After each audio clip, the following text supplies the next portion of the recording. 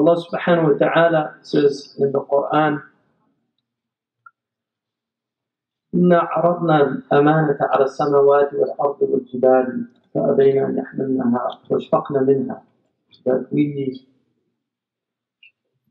showed this trust, this amana to the heavens and the earth and the mountains. These are the great creations of Allah. The Mufassirun say that these are the the makhluqat al-'idham, these vast creations of Allah. And Allah subhanahu wa ta'ala offered them, and the, the ulama differ on what that means. Some say that uh, that it's a, a, figurative sense, in a figurative sense to show what it means, and others say that it has uh, a meaning uh, that Allah subhanahu wa ta'ala knows, but it, should be understood like that. So Allah subhanahu wa ta'ala says that He gave us amana to the heavens and earth and the mountains, and they refused it. And then ashfaqna minha. Ishfaq is to, to have like awe or fear of something.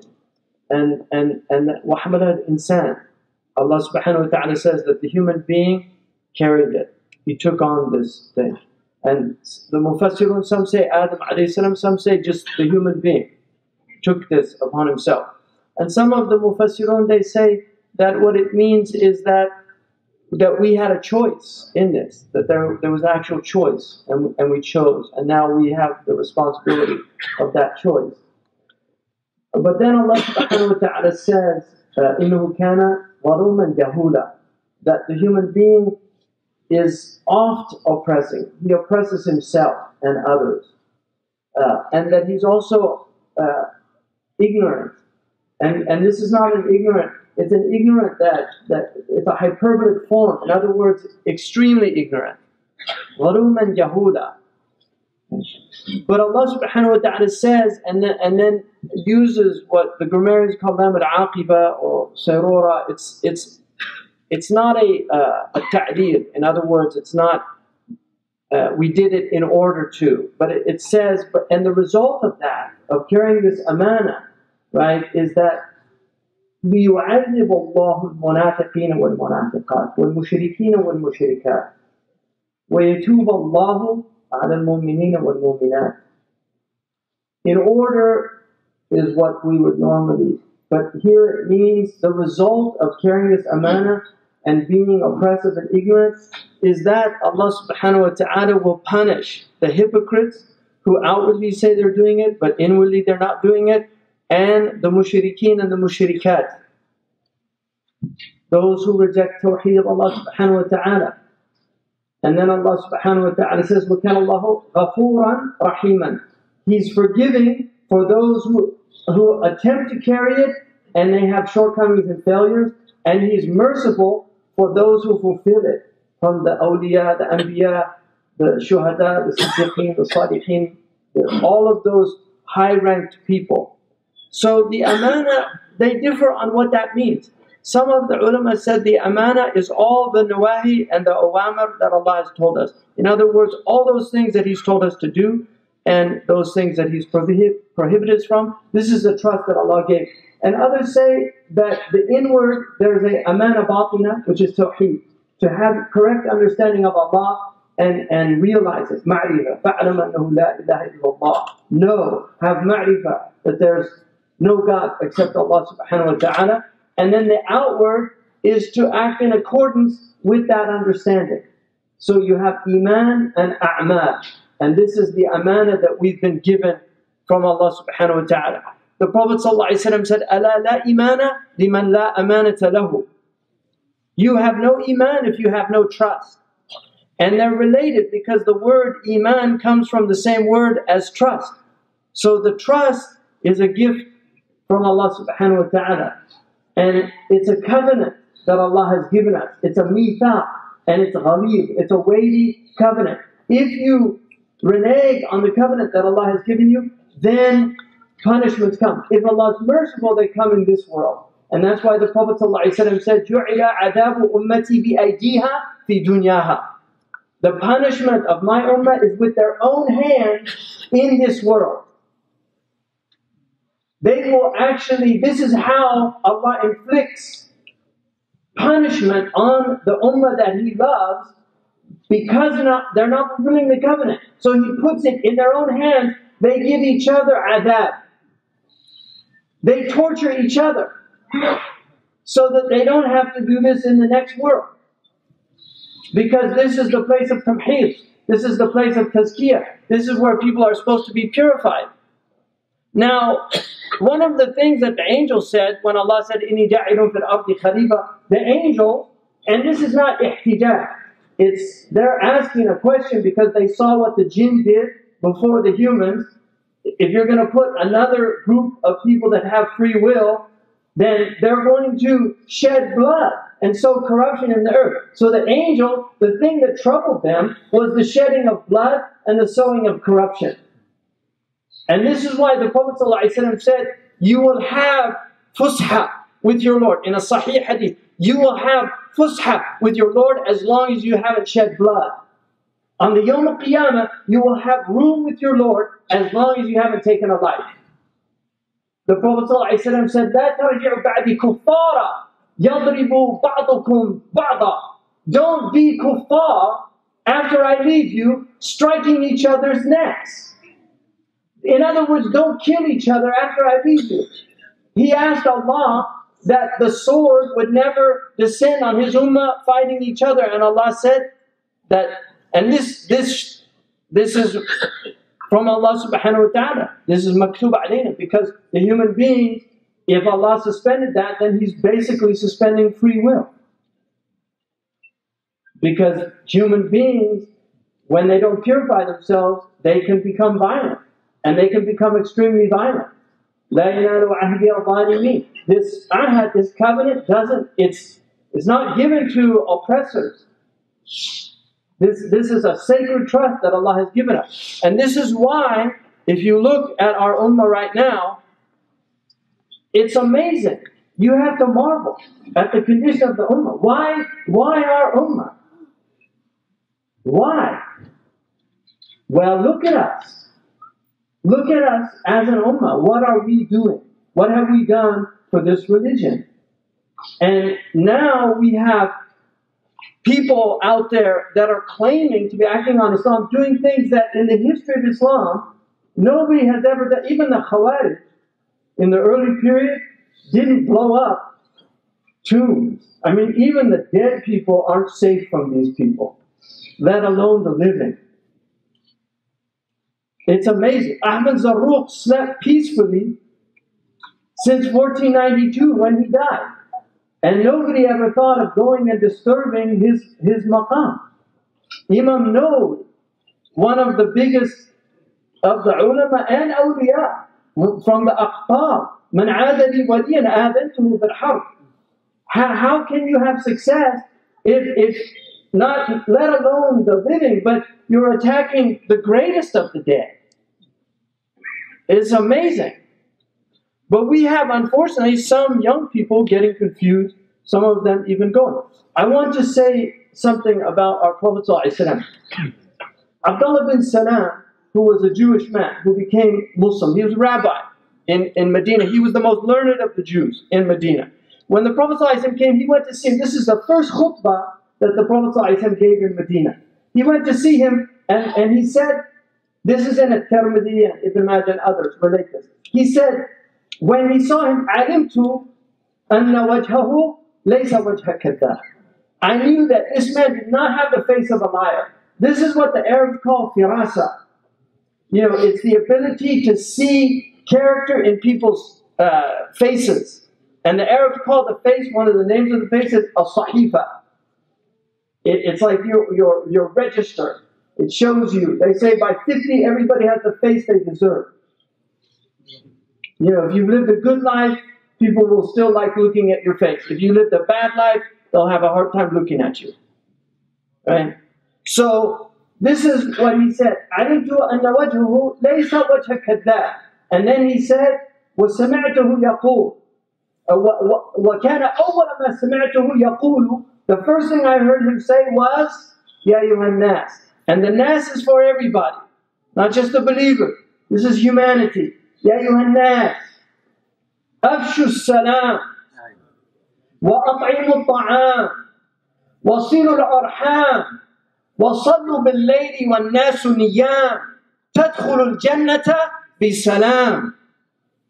Oh, humanity, spread peace. He begins with peace. Spread peace. Feed food. This is like, now they call it the hierarchy of needs. Create security so that people feel safe. And then provide their, their basic needs. Feed the hungry. And then maintain your bloodship, your blood uh, kinship bond. Because if you, if you maintain your blood bond, the, the society will be healthy, it'll be safe, it'll be secure. When people take care of their own family, because family is the foundation of civilization, it's the foundation of every society, whether it's primitive tribal societies or whether it's a complex society, family is the foundation. Take care of your families. The, the, what we now call nuclear and the extended, because the arham extends. And then ultimately, we're all from Banu Adam. كلكم من آدم وآدم من تراب. So we share the rahm of Adam and Hawa, alayhim as-salam. So, and then he said, and give some night prayer. Pray at night when others are sleeping. Aisha said, when every lover went to his beloved at night, the Prophet went to his Lord. تتجافى جنوبهم عن المضاجع يدعون ربهم خوفا وطمعا they get up at night from their madaji', from their places where they're sleeping. this is what this early community did. They used to get up and ask Allah forgiveness before dawn. Sahaba did this. This was their practice. And then he said, You will enter paradise in peace. He begins his khutbah with peace. He ends it with peace. After every prayer, what did he say? Astaghfirullah, Astaghfirullah, Astaghfirullah. Allahumma anta salam, wa minka salam, wa ilayka ya'ud salam. حيينا ربنا بالسلام تبارك وتعاليت يا ذا الجلال والإكرام He would say, Oh Allah, you are salam, and from you is salam, and to you returns salam. Let us live in salam. Let us live in peace. Afshu salam bainakum. The Prophet ﷺ said, لا تدخلوا الجنة حتى تؤمنوا ولا تؤمنوا حتى تحابوا. You will not enter paradise until you believe, and you will not believe until you love one another. ألا أدلكم على شيء إذا فعلتموه تحاببتم. أفشوا السلام بينكم. Can't I tell you something that if you'll do it, you that, that if you will love one another. in other words, you will believe, you will love one another, and therefore, right, the hidden conclusion, and therefore you will enter paradise. Can I tell you what to do? Bala ya Rasulullah, tell us what to do. Afshu salam bainakum. Spread peace amongst you. Spread peace amongst you. The Prophet said, Allahumma salli ala Sayyidina Muhammad. The Prophet said, told us to spread peace. Why? Because this is what human beings want. In the Quran, when Allah subhanahu wa ta'ala says, They have what they يتمنون. This is what Ibn Juzay and others say it means. يَدَّعُونَ here means what they wish, what they're desiring for, what they're calling out for. Salamun قَوْلًا مِنْ رَبِّ Some of the Mufassirun say salam there is called a badal. It's an appositive. In other words, it's the same as مَا يَدَّعُونَ. What they have is salam. That's why Allah calls to Darus Salam. That Jannah is finally the peace that we've all been looking for. Peace. And this is why the Mufassirun say when they first come into paradise, قَوْلًا مِنْ رَبِّ Rahim a word from a merciful Lord. The Prophet is the rahmah. Allah subhanahu wa ta'ala rahima. He was merciful with the believers because He gave them the means for peace. Afshu salam Now we have fitan. This is what we have. We have fitan. Fitan is when Muslims kill each other. That's fitna. And there's no other word for it. There's no other word for it. You don't call it jihad. Jihad is not fighting other Muslims. It's not killing other Muslims. You don't call that jihad. It's fitna. Now, the Prophet ﷺ gave us some advice.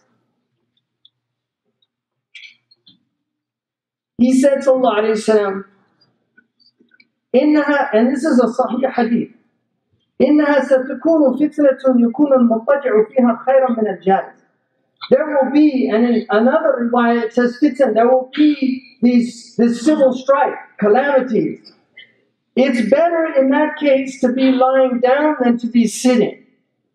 وَالْجَالِسُ خَيْرًا مِنَ الْقَائِمِ And the jalis is better than the one standing. And the one standing is better than the one walking. And the one walking is better than the one running. Ya Rasulullah, ما تأمرني؟ قال من كانت له ابن فليلحق بابنه. In other words, find some way of having your livelihood and your source. And just do that. ومن كانت يلحق بغنمه. If you have some sheep, go get your sheep.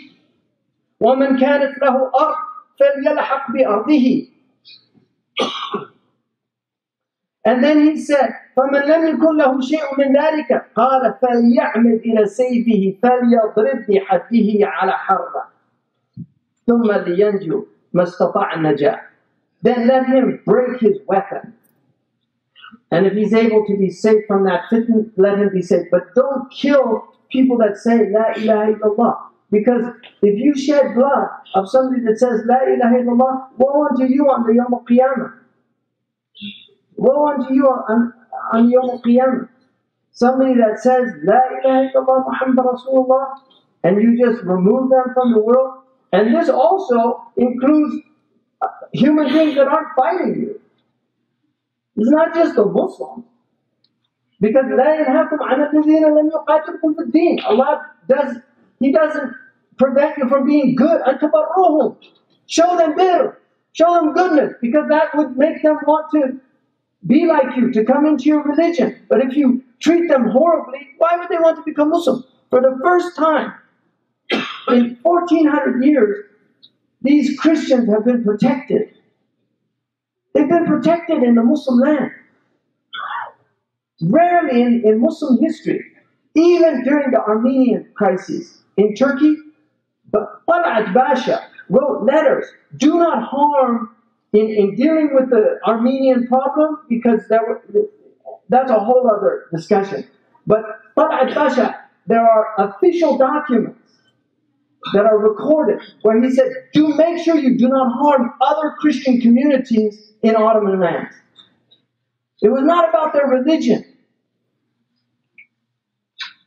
And the Ottomans took care of these people. This was our religion. This was our religion protecting these people. Haji Habib, a beautiful Turkish man who hid Armenians in his house for over half a year because he was worried that they would be killed during these in 1915 when the Armenian crisis was happening in Turkey. There were Muslims that did, and there still are. Trust me, there are Christians now being protected by Muslims because there are Muslims that know what this religion is. But we have young people now that have lost all sense of what this religion is. And they don't know. They didn't grow up with your grandparents. There's enough of you in here to know the religion of your grandparents. Those of you who are Muslims, you know the religion of your grandparents. You know the religion they taught you. This is not the religion that's being practiced today. These are people that have had no tarbiyah. They have no love. ألا لا إيمان لمن لا محبة له ألا لا إيمان لمن لا محبة له He has no iman who has no love. In another hadith, the Prophet ﷺ warned us about these people. And he said, and this is very important for people to understand, he said, يَحْقِرُ أَحَدُكُمْ صَلَاتُهُ مَعَ صَلَاتِهِمْ You will deem your prayer insignificant when you see their prayer. وَصِيَامُهُ مَعَ صِيَامِهِمْ And your fasting insignificant. They fast Mondays and Thursdays. Or every other day. وَقِرَاءَتُهُ مَعَ قِرَاءَتِهِمْ And you will think your recitation of Quran is nothing by the amount of recitation that they do. And he said, يقرؤون القرآن ولا يجاوز حناجرهم. In a riwayah, حلوقهم. لا يجاوز حناجر. In other words, it doesn't go down their throat. They don't understand the Quran. So they're, they're praying at night, they're doing tahajjud. Don't be fooled by piety. Don't be fooled by piety. They may even be sincere in their error. Ibn Qayyim uh, al-Jawzi talks about people that are mukhlisun but not mukhlasun. They have ikhlas in what they're doing, but they don't have tawfiq from Allah in their ikhlas. And those are dangerous people. يمرقون من الدين كما يمرق السهم من الرمية. They will go out of this religion like an arrow goes out of the, the bow. Ibn Taymiyyah said about this that the foundation of ibadah in our religion is prayer, fasting, and Quran recitation. And he said, that's what fools people. If you see these people and they're pious and doing all these things, you get fooled by them. And finally, the Prophet ﷺ said. Before the hour, the hour is always near Since the time the Prophet came, اقتربت الساعة وانشق القمر. The hour is near. He said, before the hour comes, there will be much indiscriminate killing. قال أبو موسى الأشعري The Sahabi asked him, قلت يا رسول الله ما الحرج? They didn't know that word. He said, القتل, murder. فقال بعض المسلمين يا رسول الله إن نقتل الآن في العام الواحد من المشركين كذا وكذا We're killing, uh, in, in our battles, we're killing mushrikeen. In other words, we have qatl now. What did the Prophet ﷺ say? ليس بقتل المشركين ولكن يقتل بعضكم بعضا. You're not killing mushrikeen, you're killing each other. And then he said, حتى يقتل الرجل جاره a man will kill his own neighbor, وابن عمه وقرابته. He'll kill his own cousin or somebody related to him. فقال بعض القوم يا رسول الله أمعنا عقولنا يومئذ O Messenger of God, do we have our brains? Do we have our intellects? Do we have our brains in those days? They can't understand it. They're trying to figure out, are they mad people? Have they gone crazy? Because what is the aql? It prevents you from doing evil. فقال رسول الله لا they don't تنزع عقول أكثر ذلك الزمان the people, the majority of people in those days won't have any brain. Just look around you on this planet. I'm telling you, look around you. People can't control their appetite. There's fatness everywhere. People can't control how they eat. People used to control. They ate in measured amounts. When they were full, they stopped eating. They can't do that now. We've got people that weigh just incredible amounts. Because why? The aql should tell you, stop, you're too fat. It's not healthy for you. But people lose their ability to constrain themselves. And this is what he said. And then he said something amazing.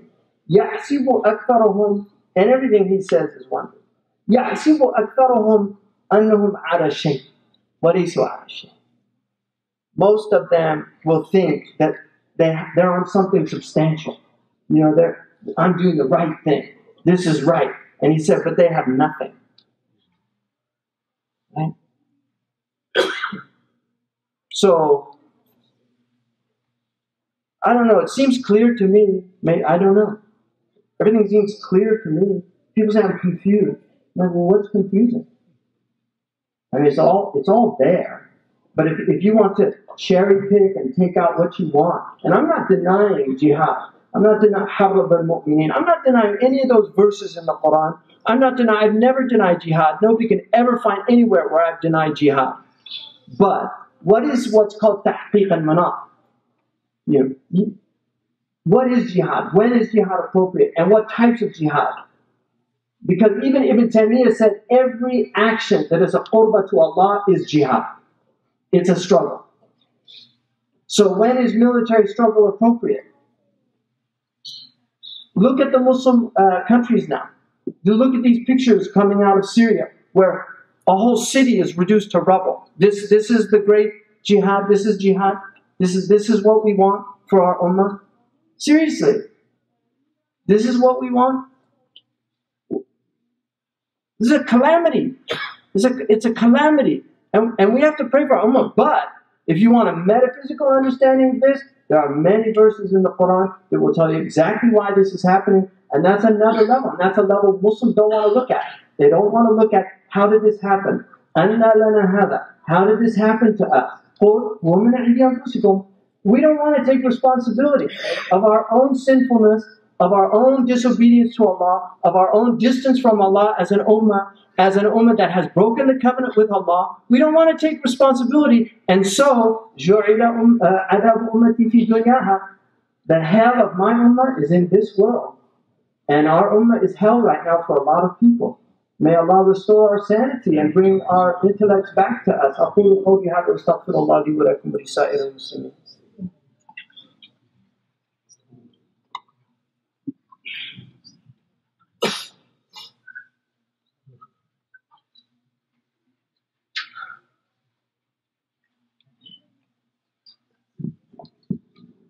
الحمد لله الحمد لله نحمد الله سبحانه وتعالى ونستغفره الحمد لله uh, one thing for all the young people don't anybody be deluded by um, this type of propaganda. This is not Islam.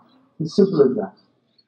It's not Islam. It's something else. It's a perversion of Islam. And like the Prophet said, people will pervert his religion.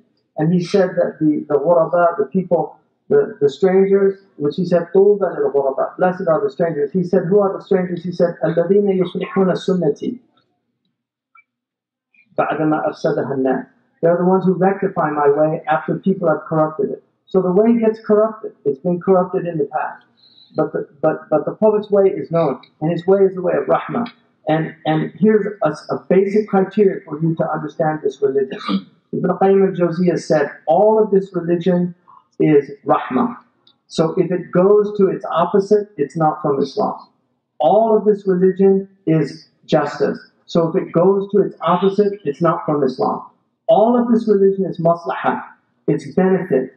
So if it goes to mafsada, if it goes to the opposite, then it's not from Islam. And he said all of this religion is hikmah. It's wisdom. Wisdom is knowing what to do in the circumstances you find yourself. Wisdom is when Omar suspends the had punishment during a time of, of suspend the hukm of Allah. He suspended the had because the hukm of Allah, the judgment of Allah in his ijtihad at that moment was that you should not apply the had. Ibn Humam says when you have widespread ignorance, the great Shafi'i scholar said when you have widespread ignorance, the hudud should be suspended. You shouldn't even implement had punishment when Muslims are ignorant of their religion. Our ulama were wise people. The Ottomans did everything they could, could, do to, to, to stop the had punishment from being implemented. This is our religion. It's about rahmah. It's about mercy. It's about empathy, to actually feel the pain of other people. You know, there's people that sit and watch these things and they, there no tears come to their eyes, like their hearts are dead. They're dead people. Malakum, what, what happened? You know, not to feel the pain and suffering of these people and want peace to come to them. To, to want war to continue is a sickness. This is a disease in people's heart. And these warmongers are diseased people on this side of the, of the divide and on the other side. They're sick. There are sick people in this civilization that want to bomb and destroy people. We need to reach out to people to, to save those that can be saved, to help those that can be saved, to call them back to their own humanity.